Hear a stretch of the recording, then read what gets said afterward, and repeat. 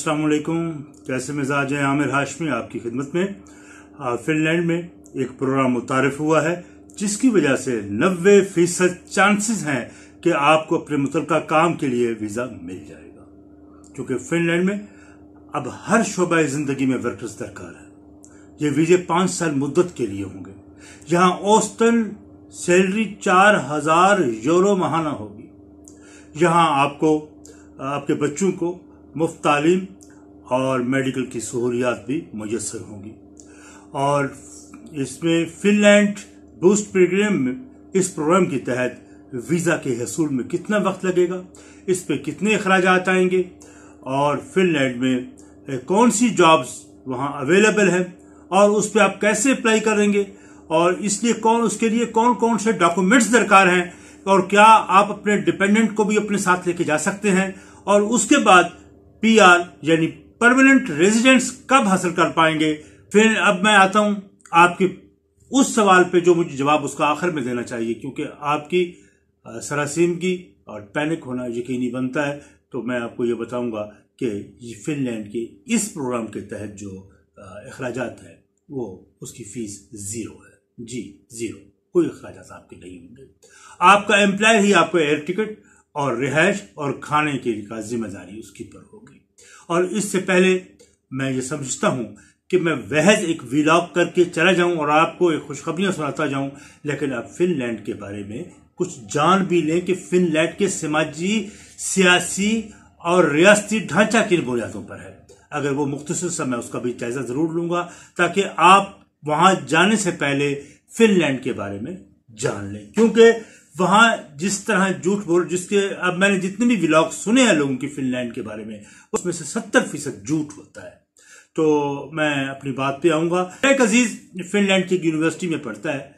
तो उस बच्चे को मैंने कहा कि अपने प्रोफेसर जिसका नाम गालबन मेरिज ओलिन किया था जो किसी यूनिवर्सिटी जो, जो उसी यूनिवर्सिटी में पढ़ाता है की है। मैंने कहा उससे मेरी बात करवाऊं मैं उससे कुछ सवाल करना चाहता हूँ।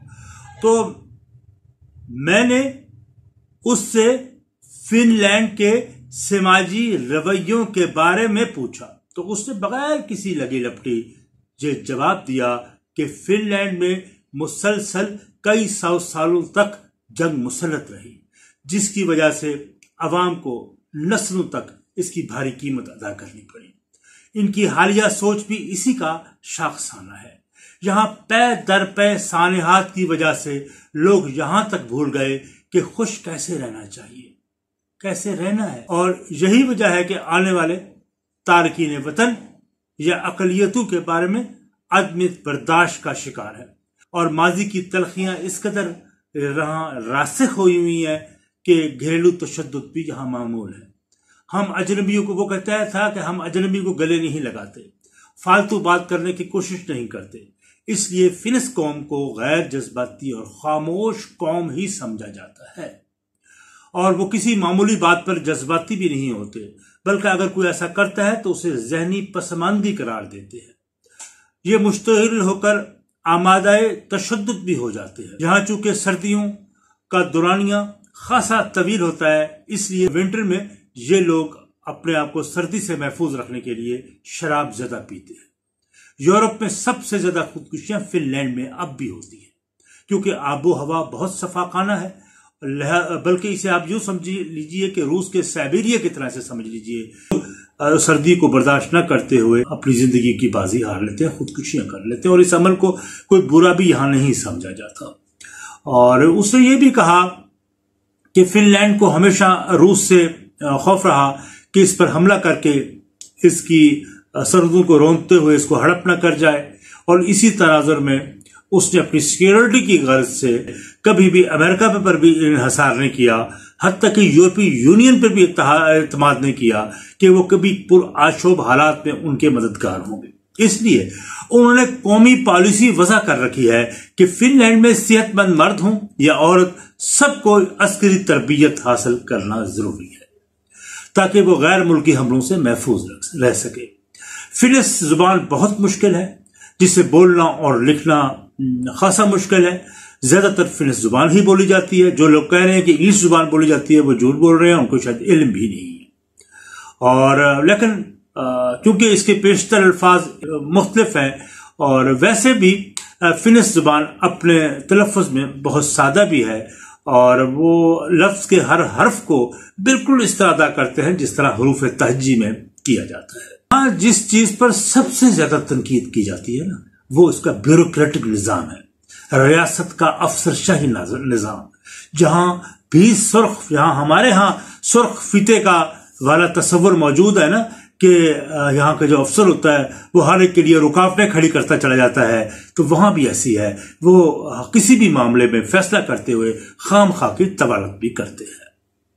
तो ये है वो फिनलैंड का वो तारीख पहलू, जिनको सामने लाए बगैर आपका वहाँ जाना वैसे मुनासिब नहीं है।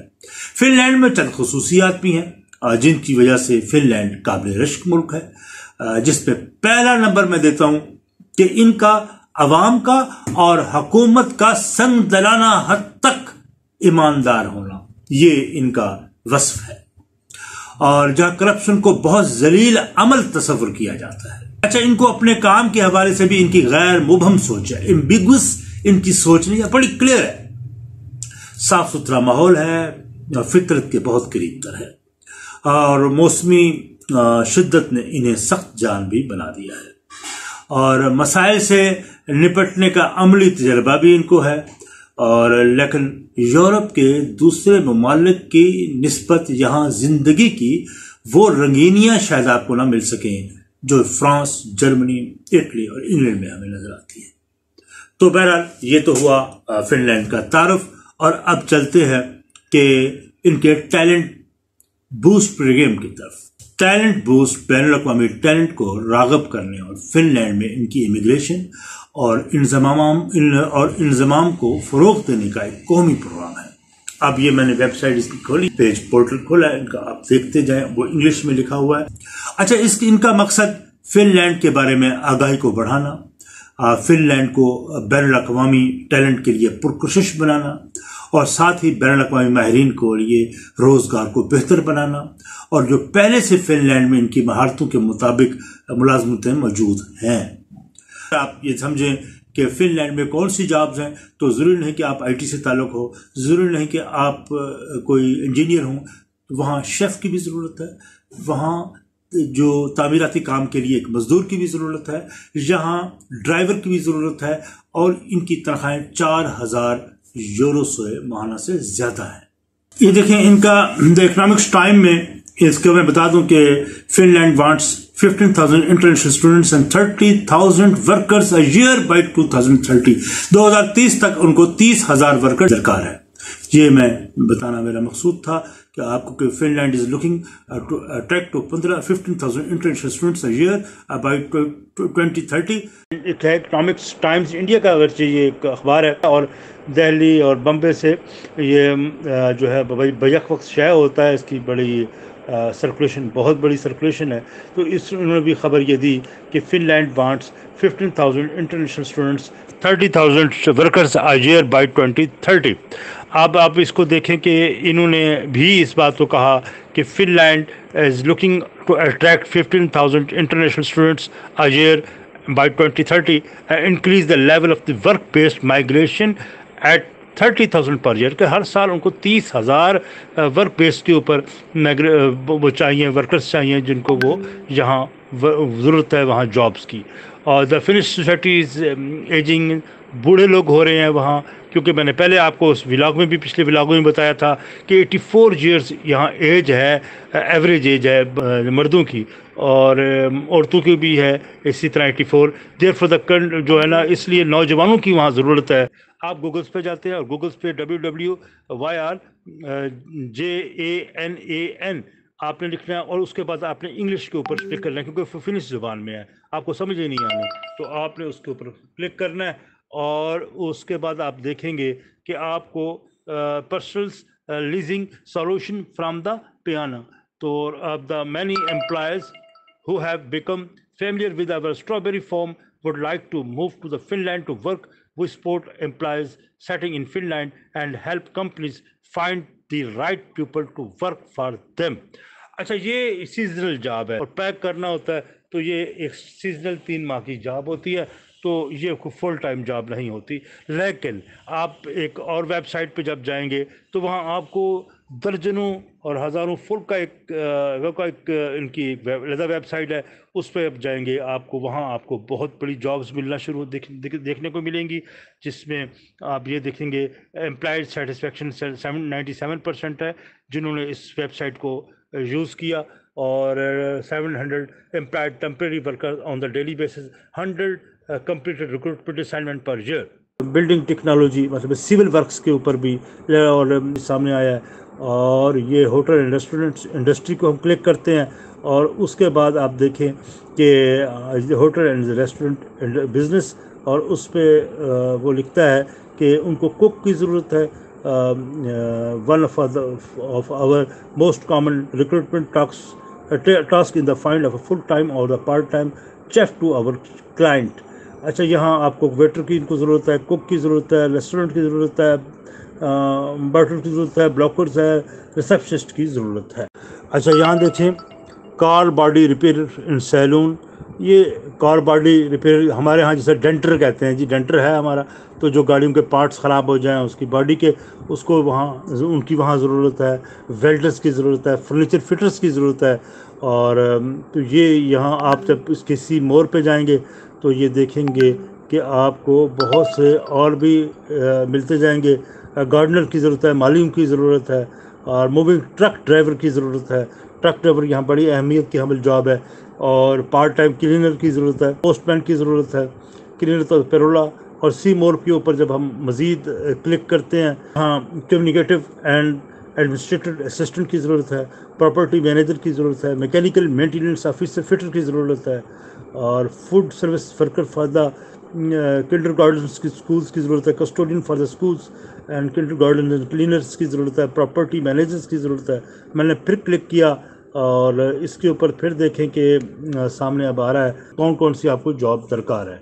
तो अब जैसे जैसे टू द एम्प्लॉयर है, वो आप करते जाएँगे तो उसमें आपको बहुत सी डिस्क्रिप्शन में मिल जाएँगी, वो दर्ज होंगी कि कौन कौन सी आपको ज़रूरत है यहाँ। अब आते हैं हम जो मेन इसके ऊपर कि इसका एक और अहमियत का हामिल एक वेबसाइट है इनकी और उस पर जब आप जाएँगे तो उस पर बेशुमार आपको जॉब्स मिल जाएँगी देख, देखने को मिलेंगी। अब यहाँ जॉब मार्केट तो जॉब मार्केट में जब आएँगे तो ये क्योंकि फिनिश ज़बान में है तो लेकिन इसका अभी मैं आपको हल बताता हूँ कि फिनिश ज़बान को आपने इंग्लिश में कैसे कन्वर्ट करना है? या उर्दू में कैसे कन्वर्ट करना है ताकि आप आसानी से समझ ले सकें? फिर यहाँ choose occupational groups as a search terms तो यहाँ आप देखेंगे occupational सब्जूर make select one of the more occupation group from the list as search terms तो उसने कहा, इनमें से एक आप चुन लें जिस पे आप अपना काम करना चाहते हैं, जिस पे आपकी स्किल है, जिस पे आपकी वो है। तो मैं मसलन इस पे अभी क्लिक करता हूँ, ये देखिए कि मैं अभी पढ़ रहा हूँ आर्म फोर्सेज ऑक्यूपेशन मैनेजर्स हैं प्रोफेशनल्स हैं और मुख्तफ इस पर आप देखें, इस पर नज़र आ रहा है। तो मैंने जो क्लिक किया था, वो डिलीवरी ड्राइवर्स के ऊपर किया और यहाँ अब ये नज़र आ रहा है कि एक साइट खुल गई और इस पे तीस के करीब पेजेस हैं। जिस पे मुख्तफ वो लिखा हुआ है। मैं रेंडमली किसी एक को क्लिक करूँगा ताकि आपको भी ज़रा आसानी हो जाएगी समझने में। आप देखें, ये मैंने इसको क्लिक किया। अब क्लिक करके या इसको क्लिक कर लेते हैं, चले। इसको क्लिक किया और इसकी जॉब डिस्क्रिप्शन के ऊपर मैंने जो टाइटल है तो उसको मैंने जो है वो कॉपी किया। और कॉपी करने के बाद मैंने ये किया और उसके बाद मैं गूगल्स पर चला गया। और ट्रांसलेट किया फिनिश से मैंने इंग्लिश में। अब देखिए इसमें are you skill driver with excellent customer service skill do you enjoy अब मैं आगे चलता हूँ। आप देखें कि मैं आ, किसी और जॉब की तरफ़ अब देखता हूँ कि कोई और है। जिस सर्च पे जब बार में जाएँगे तो आप उस में जाकर आप देख सकते हैं कि कौन सी जॉब आपको दरकार है। तो कितना उसमें की ज़रूरत है। तो मैंने इसको अब टच किया। आप ये देखें इसके अंदर वो क्या बताते हैं।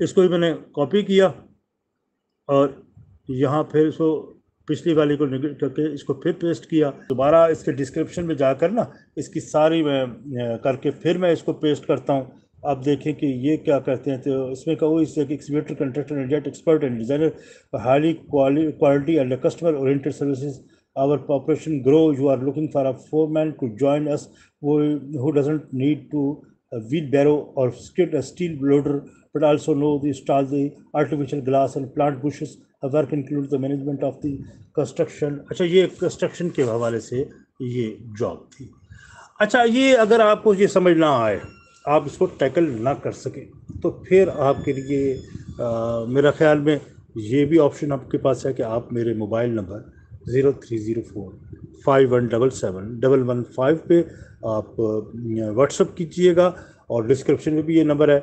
उसमें आपको मिल जाएगा कि मैं हमारे पास एक प्रोफेशनल टीम मौजूद है जो आपके लिए जॉब लोकेट कर देगी, आपकी मर्ज़ी की और वहाँ से कॉरस्पोंडेंस भी सारी वो करेगी। और उसके बाद आपका एस ओ पी भी तैयार करेगी, आपका कवर लेटर भी वो तैयार करेगी। तो उसके लिए आप मुझे जो है व्हाट्सअप कर दें तो इसमें फिर इन आपके लिए बेहतर नतीजा हम निकालेंगे।